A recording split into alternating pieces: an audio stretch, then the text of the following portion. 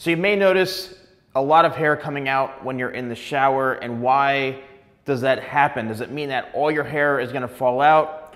You're gonna look like me? and that's what we're talking about today. So hair when it's wet is at its most kind of vulnerable, right? The elasticity, uh, it's a lot more flexible in the sense where it could break a little bit easier and that's when you may be experiencing the most hair loss. And also when hair is wet, it appears to be thicker because a bunch of hairs are kind of binded together from the water. So they're all, all holding on for dear life.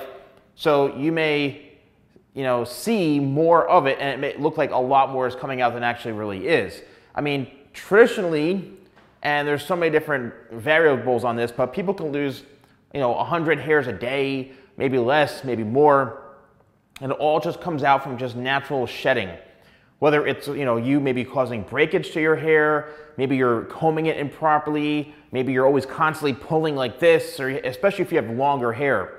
So what happens is when you go wash your hair, all that hair is compacted together like this. This hair almost looks like it's wet. It's all compacted together so that when you're rinsing, it's all just gonna basically look like it's a big clump of hair when essentially it could be, you know, a few dozen hair strands or so, but it looks like, oh my God, all my hair is coming out.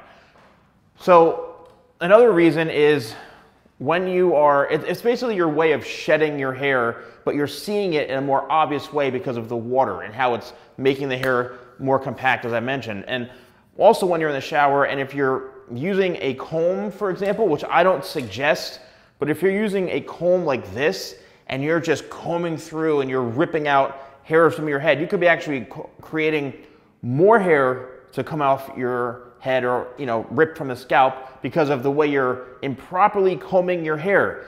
Always, always, always use the wide teeth. Always do it when you have conditioner in your hair so you can get out the knots. It's very important to use conditioner if you feel like your hair is knotting all the time. You can use 25 spray, but don't be afraid of using conditioner because it can really, really help you, okay?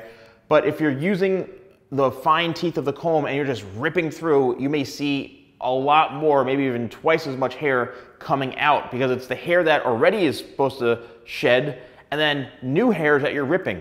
So with the wider teeth, there's more space in between the teeth, so it allows you to get through and glide through your hair much easier. I have my, this is my vent, this is the vent brush that I sell on my website when I tell you, and, and just so you all know, everything that I promote and that I have on my website, I either all my products or except for this one, this is the only thing that's really not under my branding, maybe hair clips, okay? Uh, but really, essentially, I'm using every single thing. I don't promote or try to educate you all on products that I'm not using. I use every single thing on a daily basis, including the blow dryer, my shears, the combs, this, everything.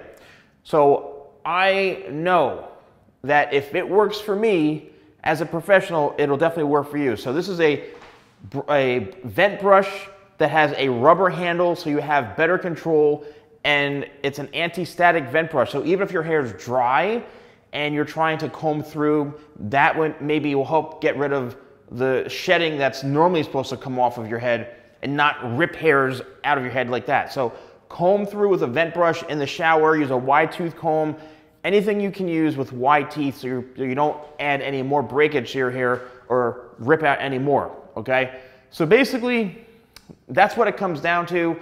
Uh, that's why you're seeing it a lot more in the shower because it's all just kind of coming together as one and the pressure from the water is also kind of pushing it away. So don't be afraid. Don't worry. If you start seeing clumps and clumps and clumps and clumps, like stuff that's not normal, and you start to notice that your hair is feeling, or your scalp, you can see your scalp more, your hair is feeling thinner, it's not as thick. It could be hereditary, it could be a number of things, but I would definitely keep an eye on it. If you are interested in purchasing any of the products, use code YouTube20 at shop.thesalon.com.